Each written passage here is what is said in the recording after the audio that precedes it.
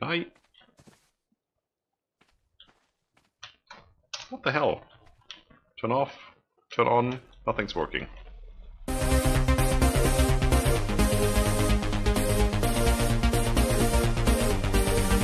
Hello, hello everybody, welcome back to Ark Survival Evolved. And the lovely villa we built down there. The Casa del Scryptar, yes it's mine. It is mine, I am going to take it for myself. I have so decided. So I've built a little bit more around this area. As you can see we have a platform over here uh, that is originally snapped to that structure over there.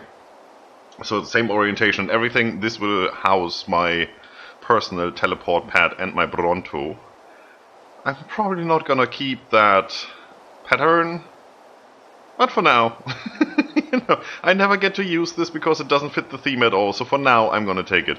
Uh, my creatures are here, I have Godric and Scout and uh, Sabaton, the trusty Anky. Jeez. There you go, over there. And uh, our Yutyrannus Terror is over there.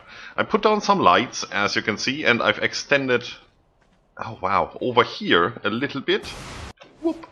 This will be our Dodo Coop, where we produce our eggs for all the kibble, which will happen in here, mostly. We have the egg collector, we have the thatch collector, we have the poop collector, we have the fertilizer making structure. All the stuff is in here.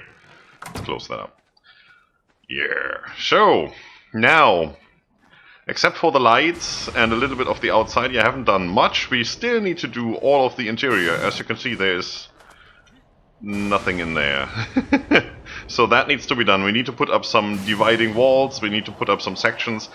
Uh, downstairs, since it's two walls high, is going to be the crafting area that can house the, um, the, stuff I mainly have on the Bronto. Obviously, we're not going to take this down. This will still be our mobile crafting platform. Uh, but I want to thin it out a little bit because we are already at structural limit here. I can't put any more things down and most of the stuff we don't need, like that. Or that. Not even the fabricator on top or the kibble machine or stuff like that. I want that to be in the villa and I do want to have all the crafting stations in the villa, not just those we need for building and decorating. So there will be an eco mod room, there will be... What was that? Do you hear that? Okay, it's just me. there will be a uh, blacksmithing room, so an armory basically, uh, a processing facility where we have this and the fabricator and probably the um, infuser for the crop plots, the tech crop plots. Uh, there will be a crafting area where we have all of these, the, the CKF uh, tables, the smithy, and we will also have a vault for the resources. You know, stuff like that. A kitchen probably uh, for the kibble matrix, probably not that one. You know, there's two. There's one that looks like cauldron and that UFO up here. And while that looks funny, it just doesn't fit the theme. Uh, upgrade station, armor, no durability thing station, all of that stuff we need to go in there. Yeah, so that's what we do next. One thing I managed to do, you know, I said last episode that there's no way we can put a staircase up here. Of course we can. An S plus one. And it took a while to dawn on me. You know, the way we built this. Let's get down here. If we ever... Thank you. Uh, the way we built this, we placed this. This Castles and Keep foundation. Then I snapped an S plus foundation over here, right to that one and that is a little bit lower in height. So I snapped another S Plus foundation underneath, and to that one I snapped these. So the height difference between that one and that one is exactly the height of one S Plus foundation, which is the height of one S Plus wall, which is the same height as one S Plus ramp. So obviously if we put a ramp down here, since this wall is snapped to the higher um, of the foundations and this roof is snapped to the lower of the foundations, this is exactly one S plus wall height difference. So yes, of course, if we put a ramp here, that fits exactly. It has to. So we got stairs. which means we have a roof access, which means we can park our flyers up here. Yeah! it took a while until I actually figured that out. Uh, other than that, I put some decorative elements around. You can see the arches on top there, and obviously the um, the railings. Uh, I have the same arches going around the outside here. I put down some uh, vertical beams, some pillars. For that, I had to snap a Castles and Keep ceiling to the corner of the of the wall up there, or the window, whatever, and then put the pillar in the middle, which is exactly where the corner is, and then you know pillar up and down, and then I could remove uh, the ceiling again. Because as long as that thing is stuck in the wall, it counts as supported. Don't ask me why. Yeah, look at that. I think it looks gorgeous. Alright, uh, on top here... fly! Fly! Like a bird plane! Um, I had to put these triangular, the, the gable ends here because there's no way we can put any kind of roof in there. That roof tile just doesn't exist. So I thought if I had to do that, might as well make it a little bit bigger and uh, pretend that it was always planned to be designed like this. And then I put the turret on top. Yeah, same over there. And I think I still have to put that, that gable end back in here, right? Yeah, that broke. That was me. I think I still have some of those, so I do that right now. Then I will go and put down the uh, interior walls down here and put the crafting stations up. Some of them are already in there, I have to remove those and uh, they are tentatively placed just so I know where I want things to be and then I show you once it's done what that looks like. So downstairs is not going to be any roleplay stuff, it's just crafting area and we try to make it look nice and uh, separated and everything will have its own place. And upstairs will be completely roleplay, that's where our bedroom will go uh, a kitchen, probably using Ecomods because that kitchen is just absolutely gorgeous. I think it's in here. Uh, decorative? No. Uh, structures? Mm, that one. The cooker. And the dye mixer. Yeah, we still need to get the dye mixer in there somewhere. I haven't even produced one of those. Let me know what? That's, that's one of the things I forgot. I crafted everything I could find in my inventory in the S Plus station and fabricator and in here, uh, like the fridge and you know those stuff like that. So those are already somewhere down there in a chest or tentatively placed. All right, enough rambling. I'll be right back. And we are back. Looks the same as before. so, um, I just quickly got out and tamed some dodos. Those five females over here. I have no idea if they actually laid any eggs yet. Which one is that? Thank you. Oh, that's the fertilizer thing. That's the one. Oh, look at that. 39 eggs. Uh, so there must be dodos around here somewhere laying eggs. Probably down there. Hmm, okay. So we got eggs. Why did I even tame those? I could have just put the the collector down and gotten them anyway. Okay, that's good. So those will be needed for making the eggs required for kibble. Now, if we come in here, we have walls. Let's get through this one by one. This is my most favorite room. This is the eco room. Yeah, all the eco crafting stations and the ship decor in one lovely room. And we have a vault, so everything that has been crafted, can I please access you? Thank you, uh, is going to be dropped in here for easy access. We have a, a thousand uh. That should make it easy to find stuff. And we can use just, you know, the transfer gun to put everything in there and then pull the, the resources back out. They go over here in this room, which is the crafting room, as in structural crafting. So we have the castles and keyboard in here, uh, the S plus table, eco saddle, because that actually has more structures than decor. Uh, we have a vault up here that holds all the items again including all the lights, because I think they are more crafting than they are decor. Uh, bookshelf. I do have some stuff from drops, so yeah.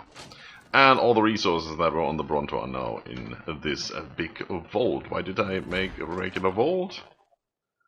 Just because. Just, you know, just because. No, these, um, are they actually? Uh, so Lost, yeah, So Lost Craft Vaults.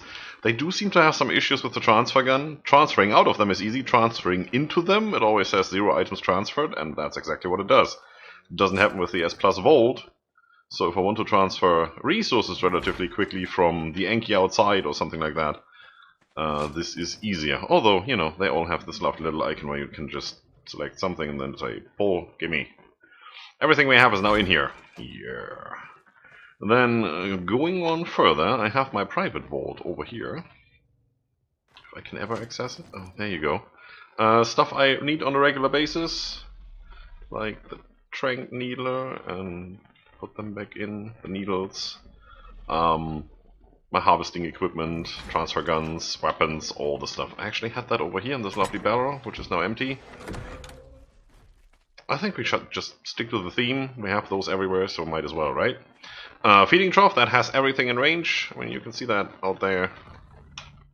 I switch the overlay back on, yep. Clarence is in range. So is the Yutyrannus terror. Are you? You should be.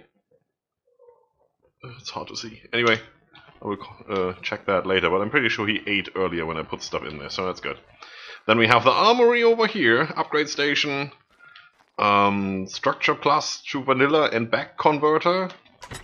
Where you? The blueprint maker, which we don't need because we have that over there. Um, the tech rifle, the upgradable one. Then we have the blacksmith over here, uh, which is making armor and, and some stuff. Uh, the no durability armor, yeah, that's all here, in case you ever need it. And then we have the kitchen over here. I have no idea why I actually put down this grill. Just because I can, probably. There's water. Luke. Perfect. Uh, I put down the cooking pot and the campfire because on occasion you do need them, especially when there's uh, like Valentine's Day or stuff like that.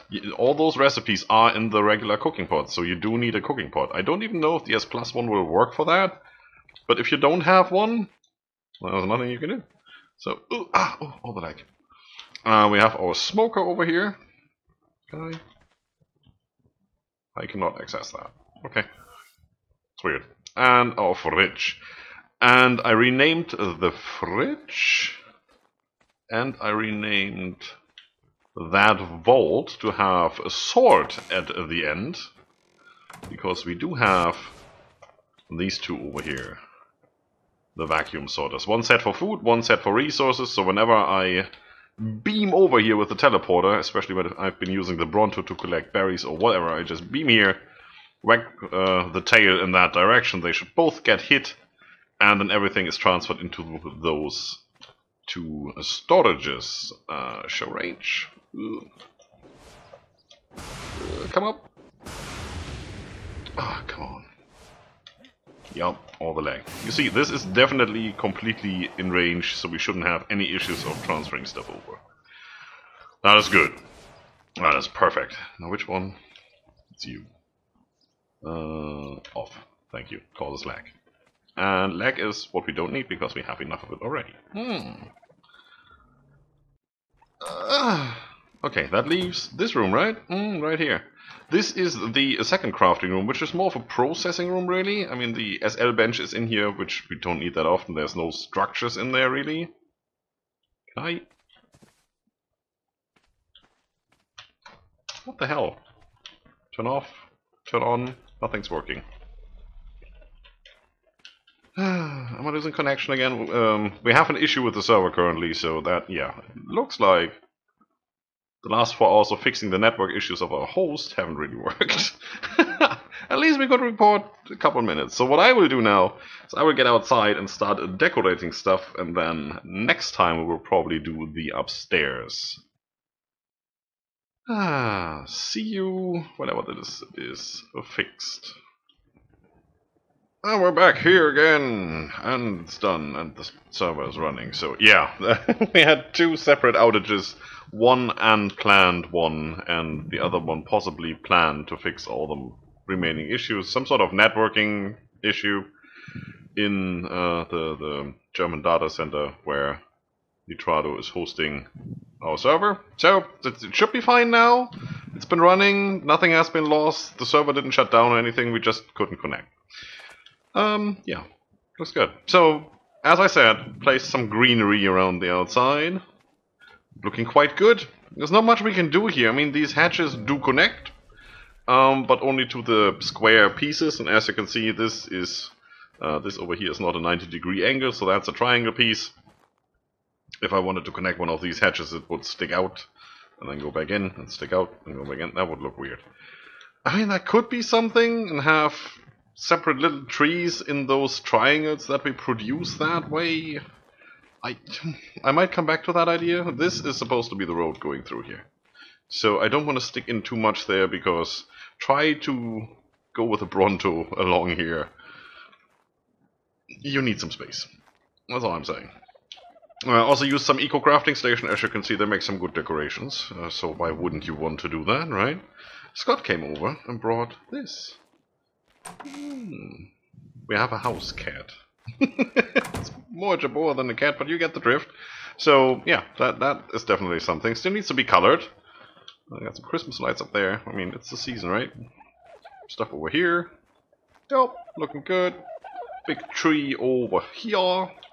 With more green around it, so it doesn't stick out of just the rock face, and I think that came out rather nicely. Um, perfect placement. That's the only intersecting with uh, the roof that happens over here, that little piece. Even all of this here, it's not sticking in. Except for, like, two leaves right on the top here. All the rest is looking good. Let's, let's get down there. You don't believe me if I don't show you, right? There, see? Mm-hmm. Yeah. That's good. Now let's get inside. Inside there's not much decorating going on because, like I said, this is the actual crafting floor, so we already have the lights. They are all working, electricity is working. Um, that's pretty much that. So I decorated the outside here a little. Uh, put down some more lights, obviously. Needs to look good uh, in the night. And couches. Tons of couches, because this is where we're going to enjoy the view of Harbor Town. Yeah. Don't really need a bathroom, huh? If we have this right next to us. now we're still gonna get a bathroom, obviously. Uh, but that's all gonna be upstairs. So let's have a quick look upstairs. Um, there. Ooh. Yeah, there's room here. There's lots of room here. So what do we need? We need a bedroom, a bathroom, a kitchen, probably a planning area, some sort of office. We can put down some more of the things that we haven't used that much, like the blueprint table and the map table. There's unfortunately no Ragnarok map table, but we have the others, like the center and the island, scorched earth. We might put those down, just, you know, for funsies. And fill this space up. Hmm. Maybe a party area somewhere. That would be cool. A little bar. Some kegs. We don't do kegs, we do barrels. It's German villa, for sake. Yeah. Alright. oh, that is it for today, folks. If you like the video, like the video, subscribe for more, leave a comment if you feel like it. Don't forget to enjoy yourselves. There's the crotch shot you've been waiting for. See you soon.